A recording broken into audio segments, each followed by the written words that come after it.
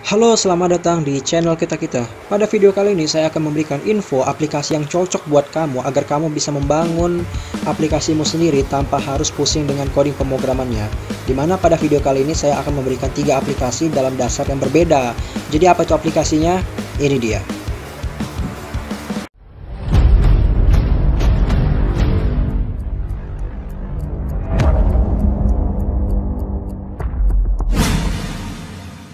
Buka all shop. Jika kalian ada berkeinginan ingin membuat toko online kalian sendiri tanpa harus pusing dengan coding pemrograman, maka kamu cocok gunakan aplikasi dari Buka All Shop ini.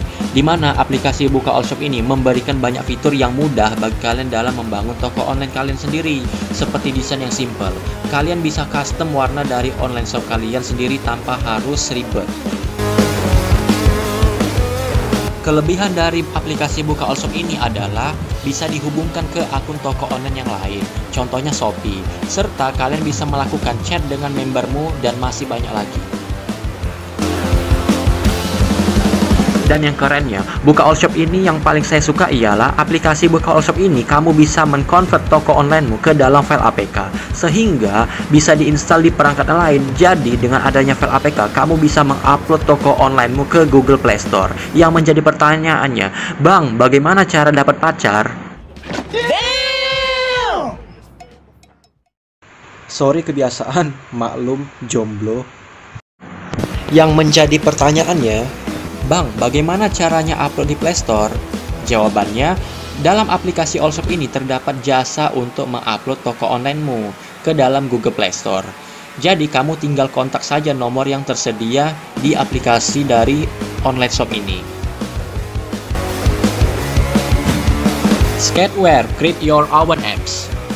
Apabila kamu ingin menjadi seorang developer aplikasi tapi nggak punya komputer sama sekali dan bingung harus ngepain, maka kamu cocok gunakan aplikasi dari Skateware ini. Dikarenakan aplikasi ini diperuntukkan bagi kalian yang ingin membuat aplikasi lewat smartphone, di mana aplikasi ini menyediakan banyak sekali fitur-fitur yang berguna bagi seorang developer untuk mengembangkan aplikasinya.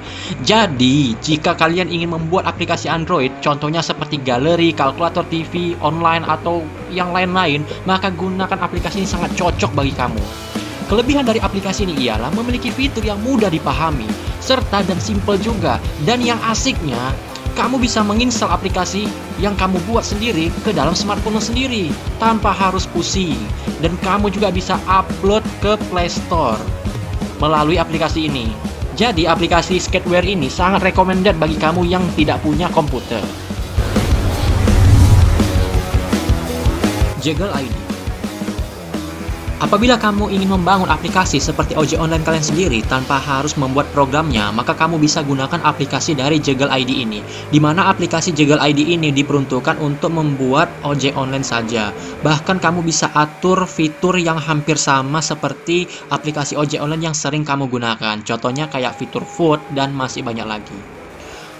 Aplikasi Jegel ID ini merupakan aplikasi yang memudahkan dalam membuat aplikasi ojek onlinemu di mana kamu bisa atur tata letak menu aplikasi ini dan juga kamu bisa ubah aplikasi yang kamu desain sendiri ke dalam bentuk APK sehingga kamu bisa menguploadnya ke dalam Google Play Store. Jadi kan lumayan bisa didownload orang banyak.